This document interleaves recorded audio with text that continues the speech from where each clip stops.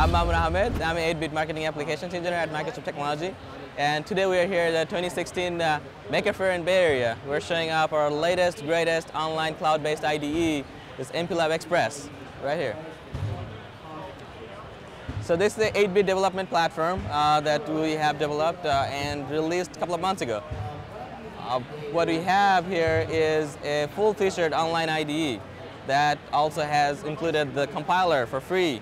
You don't have to download or install anything on your computer. Everything resides on mplabxpress.microchip.com and you just go there and start writing your own code.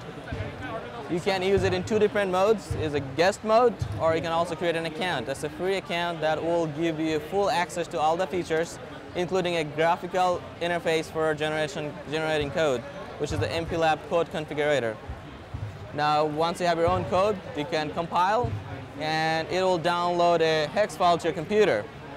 Now, to make this more convenient, we have developed MPLAB Xpress Evaluation Board, which is this board right here.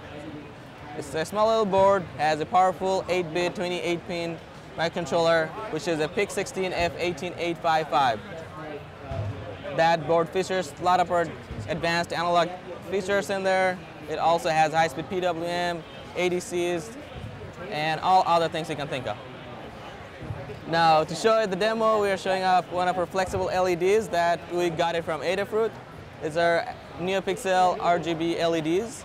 Uh, we are driving through a single line data connection. The way you're going to program this board with MPLAB Xpress is very simple. These are targeted for first-time users, makers, and hackers community. Uh, you plug this board into your computer, it shows up as a flash drive.